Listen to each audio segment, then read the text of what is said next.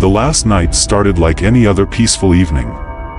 After a long day at work, I returned home, looking forward to a relaxing night alone. The cozy atmosphere of my house offered a sense of comfort, and I decided to take a shower to unwind.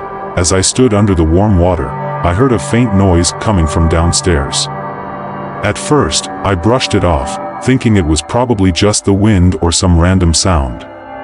But then, I heard footsteps, soft but unmistakably real. Fear began to creep into my mind as I realized I was supposed to be alone. I quickly turned off the shower and listened intently, hoping it was just my imagination playing tricks on me. However, my heart sank when I heard a creaking sound on the staircase.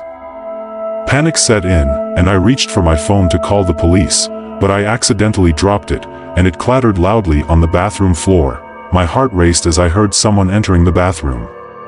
A figure appeared in the doorway, and my blood ran cold. It was a masked man, holding a knife in his hand.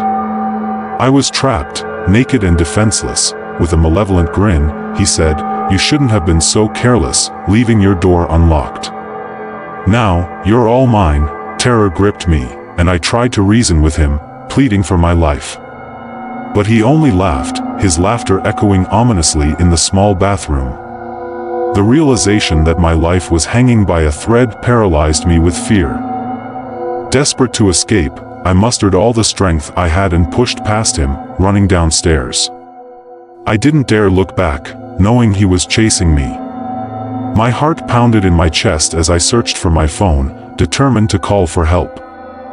As I reached the living room, I found my phone and quickly dialed 911. My voice shook as I whispered my address to the operator, fearing he might hear me.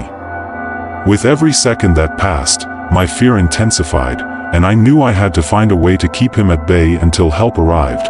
I hid behind a couch, trying to stay quiet and unnoticed. The minutes felt like hours as I listened to the sound of his footsteps getting closer. I could hear him searching the house, looking for me. Suddenly, the sound of sirens filled the air, and relief washed over me. The police had arrived, and I could hear them shouting for the intruder to surrender. The man cursed and made a run for it, crashing through a window to escape. The police pursued him, and I heard the scuffle outside. Within moments, they had apprehended him, and the nightmare was over as the police brought the man away in handcuffs and I found it was my friend Mike who wanted my girl fiend.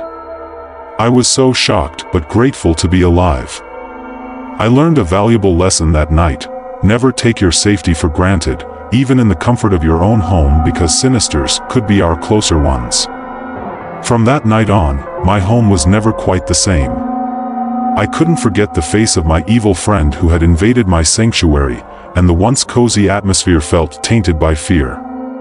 I installed a state-of-the-art security system and made sure to always lock my doors and windows.